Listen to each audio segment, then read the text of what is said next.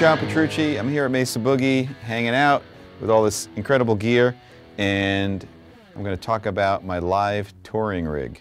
So when I'm in the studio, I like to bring in my different boogies, my different Mark amps, um, and kind of do some experimenting. This time I decided to do a more compact version.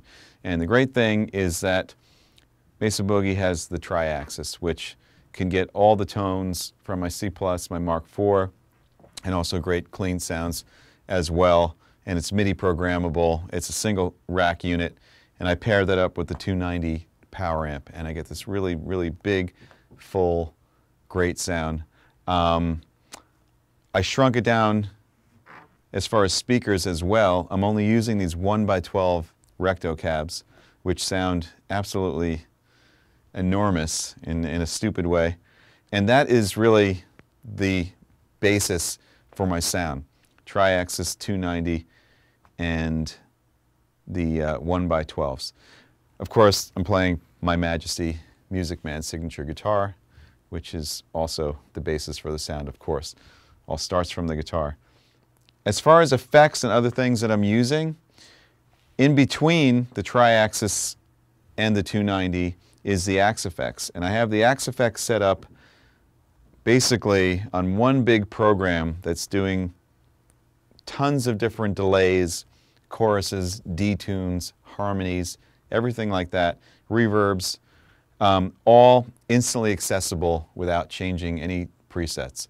Um, so that is taking care of pretty much all of the effects that are stereo and in between the Triaxis and the power amp. Now I also have a little pedal drawer here because pedals are fun. And in this, these pedals come before the preamp. Usually there's certain pedals that you obviously want to do that with. Compressor, Analog Man Juicer for clean sounds. These great boogie pedals for slamming the front for extra gain. The Grid Slammer and the Tone Burst. Phase 90, the Van Halen one. Phasers always sound better in the front. This is, of course, my signature Dreamscape pedal by TC Electronics. This sounds great in the effects loop or out of it. I'm using it in this rig before the amp because I use the uh, flanger and chorus settings that I want kind of distorted in the front. And then there's a, an old Boss Dimension C, which is, kind of has its cool, its own unique cool sound. And all that is uh, being switched in and out. There's a Dunlop rack wah, so I don't have any signal running to my pedal board. And uh, that is basically the rig in a nutshell. I control the volume with an Ernie Ball volume pedal. This one's custom with diamond plate to match the diamond plate on my nice little boogie cabinets. Um, what I do live is I actually use the two outputs on the Axe-Fx, one to go to the mic'd cabs that are going to the front of the house, the other set to go to these, which I use as footrests slash feedback producers slash thumpers that go right in front of me when I'm playing. Um, because I am using in-ear, so it, it, gives me some sound on stage. And um, all of this is being controlled by this RJM MIDI controller, and I have a TC Polytune over here for, um, for checking my tuning. So let me go through a few of the sounds. Um, clean sound is really beautiful. It's, uh, let's see, it's lead, no, rhythm one green. Um, first two presets are a couple of different variations on clean.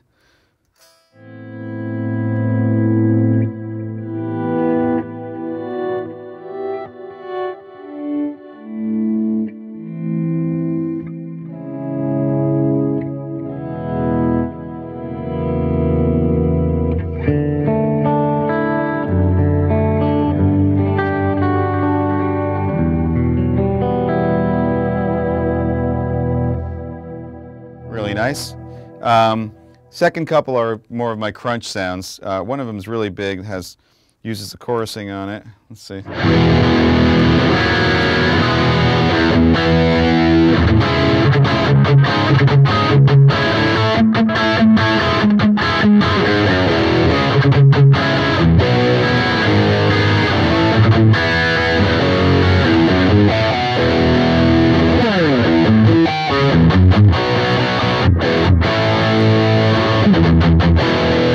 Sound I would use more on kind of heavy crunch stuff.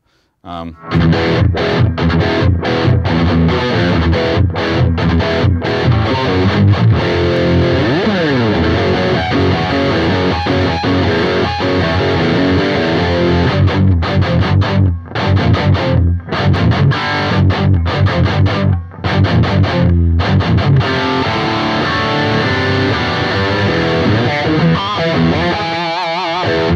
Of course, you can access the different effects. Like I said, the front one's the Dreamscape flange. And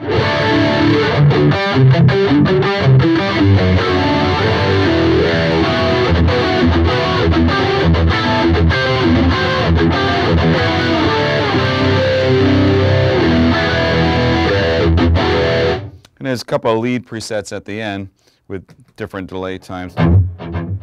By the way, uh, on the Triaxis, this is, I'm right now using lead 2 red. So it's really kind of out front, bold, aggressive sound.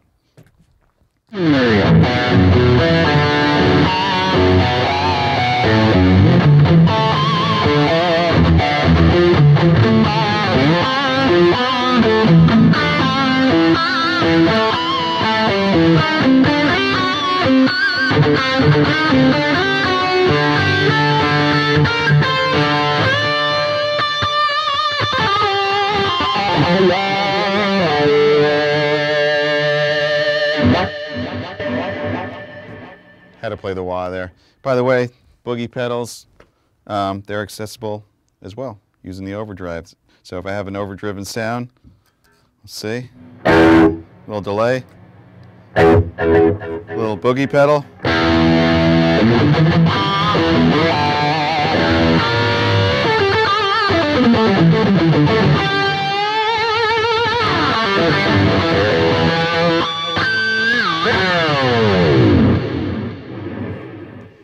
Sounds good to me. Anyway, there's uh, my rig in a nutshell. Triaxis, 290 1x12s. Check it out.